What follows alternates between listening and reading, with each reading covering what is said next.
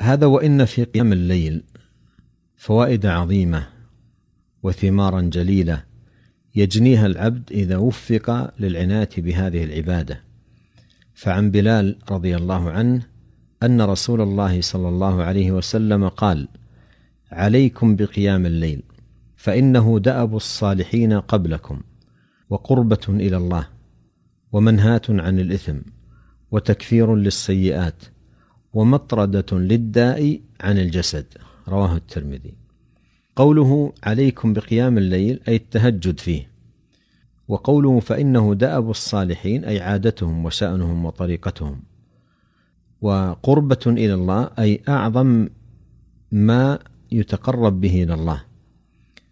ومنهاة عن الإثم أي عن ارتكابه. قال الله تعالى إن الحسنات يذهبن السيئات وقال تعالى إن الصلاة تنهى عن الفحشاء والمنكر. وقوله وتكفير للسيئات أي مكفر للسيئات وساتر لها. وقوله ومطردة للداء عن الجسد أي طارد ومبعد للداء عن البدن. وعن ابن عمر رضي الله عنهما قال قال النبي صلى الله عليه وسلم نعم الرجل عبد الله لو كان يصلي من الليل متفق عليه ومقتضاه أن من كان يصلي من الليل يوصف بكونه نعم الرجل.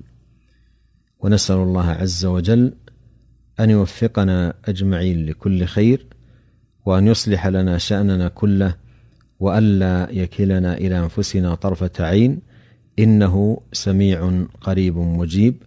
وصلى الله وسلم على عبده ورسوله نبينا محمد وآله وصحبه أجمعين والسلام عليكم ورحمة الله وبركاته.